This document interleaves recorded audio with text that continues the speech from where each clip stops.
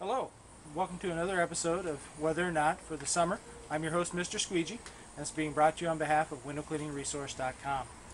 Today I thought I'd take a mo- moment to talk to you about scheduling. Uh, we know that during our busy seasons, we just try to schedule as much as possible.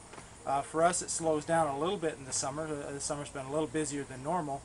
Uh, but as we've talked about in previous episodes, uh, heat exhaustion, heat stroke, all these things come into play. Dehydration. Uh, so as we're working, we want to try to plan our work, if possible, around the heat of the day, uh, which might mean planning to start a little bit earlier, finding those customers where we can start early in the morning and maybe have the job done before the heat of the day, uh, or starting a little later in the evening, uh, late afternoon, and finishing up a smaller job that way. And maybe in between, when it's hot, we could uh, schedule some bids or things like that, or other errands that we may have to do. Uh, that would help us to avoid that really hot part of the day and help out. But if we can't do that, what can we do then? Uh, we might think about uh, even how we schedule the job, how we're working on that job. Uh, as we schedule, think about how long will this take us? Uh, do we work by ourselves? Is there a couple of us? Do we have a crew?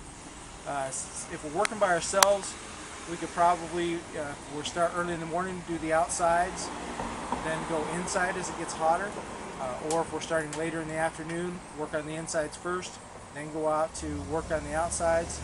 Uh, if we've got a big crew and it's a, a good sized job, maybe we're rotating people. Uh, some people work outside uh, for a certain period of time, and then they go in and take over for the inside guys, and the inside guys go out.